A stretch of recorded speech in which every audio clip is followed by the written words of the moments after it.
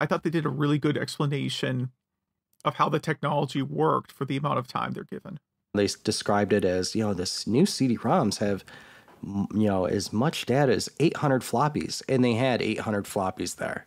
Like they yeah. actually, some poor stagehand had to go find 800 floppies that looked the same. yeah, yeah, that would be difficult to do nowadays. I'd have to go to the recycling dump and uh, someone dropped off 800 floppies.